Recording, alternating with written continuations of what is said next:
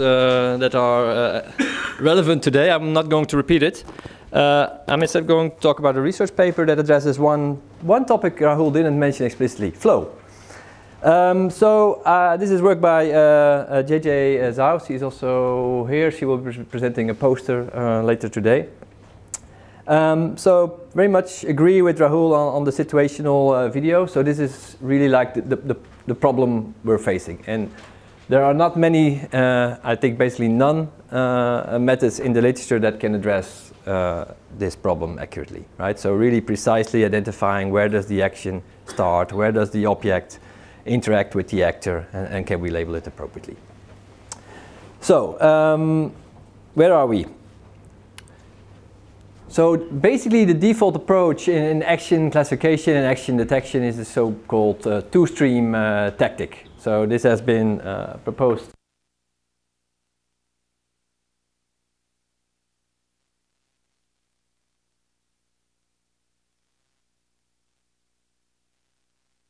You do the same thing on, on the optical flow stream and you combine the two uh, in the end. So this has been a tactic that many people uh, follow. Also in uh, action detection, where we draw a box uh, uh, as well. This is the default approach. Um, Video, video is already computationally intense. Uh, what we do, we add another modality, so we double the computation. So everybody has been doing this because what we get out of it is a small uh, but significant increase in accuracy, which gives us the bold number in the table in the end. So we all uh, play the game of, of increasing the number. Um, so we want to get rid of this flow uh, step while keeping the benefits. Is it possible? Um, so flow is useful, right? So here we have uh, a person that is dancing, but it's unclear from the static RGB uh, frame only whether the person will stand up or uh, sit down. When we use the flow information, that gives a strong uh, prior on where the action will go. So rather than having a two-stream uh, network, we propose a two-in-one uh, stream. Right, so the key idea is here to use optical flow during training and to learn how to modulate an RGB frame in such a way that the, the pixels that are relevant for the motion get enhanced in the RGB uh, representation so you keep the benefit of the motion without having the pain of learning a separate network uh, for it. And we just uh, plug this in into off-the-shelf uh, pipelines for action classification or action uh, detection. So basically two, uh, two additions. The first one is a motion condition layer and this motion condition layer basically generates simple uh, motion maps. Consider this like motion features from your optical flow input, right? Uh, now flow images are sparse, so we use a simple one by one uh, convolution or three by three. This is sufficient. Then these motion uh, layers from the input for a motion modulation layer. And in this motion modulation layer, we learn how we learn affine transformation parameters alpha beta that learn to modify this motion modulation into the RGB, right? It's pretty simple. This is what it looks like. So in the top row, you see uh, an optical flow uh, image with motion condition maps. And these are the learned parameters, uh, beta and gamma for your uh, modulation. Then we move to the RGB stream. So here we have an RGB image and RGB feature maps before uh, modulation. And this is after modulation. And as you can see, the things that move uh, get enhanced in the RGB stream, so we have achieved what we want to achieve. What is the benefit? So we have done some uh, ablations where we compare an RGB stream, a flow stream, a traditional two stream, and R2 in one stream. And of course, we can also add flow on top of our two in one stream, and then you have a two in one two stream. Um, we, we need a bold number in the table too, you know, so that is the... Um, so this is what, what you get. So it's on par with two stream, I would say.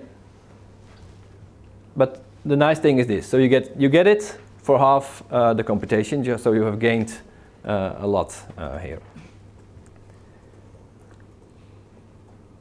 Um, it's also, for action classification, we can also do it. Um, slightly worse than two in one, uh, but you get the same uh, speed up. And if you add the two in one stream, it's on par. Um, where should you modulate uh, in your network? So you can do it basically after every convolutional uh, layer. And you can also combine uh, the modulation. We find that basically modulation is done best early on uh, in the network. The additional benefit is then that you keep the number of additional parameters low. Uh, what flow uh, to use? Well, basically it's agnostic to the type of flow. We find that Brox flow uh, works best. Um, but if you use real-time flow, which is about seven times faster than uh, Brox flow, you get only a small uh, uh, decrease. It, this is all done on UCF uh, 10124 dataset.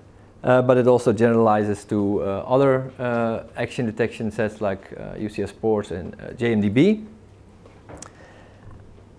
And how does that work qualitatively? So here is a, a, hard example from an action called uh, diving. So it's very hard to see. So we highlighted that indeed somewhere hidden in the bushes somebody is about to dive from a cliff. This is the RGB stream, how the heat, what the heat map looks like. So as you can see, so we highlighted where the action happens, but RGB stream is basically invisible. Now, after motion uh, modulation, indeed we find that it can zoom in on the action uh, of interest, and of course this helps uh, for the detection.